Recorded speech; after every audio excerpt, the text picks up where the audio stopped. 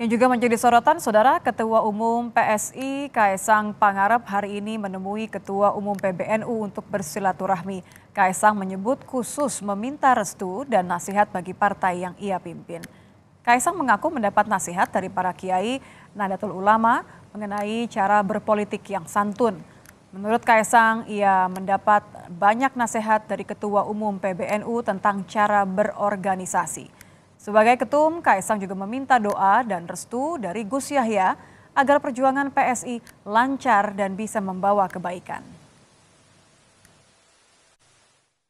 Nasihat, minta nasihat ke Ketua Umum PBNU, gimana caranya berpolitik dengan yang santun, tanpa mencela orang lain, seperti itulah. Banyak-banyak nasihat dari beliau untuk kami-kami di PSI. Ya. yang pasti juga minta doa restu lah. Tadi benar kata Pak Sekjen, kita minta doa restu semoga semuanya berjalan lancar dan berkah.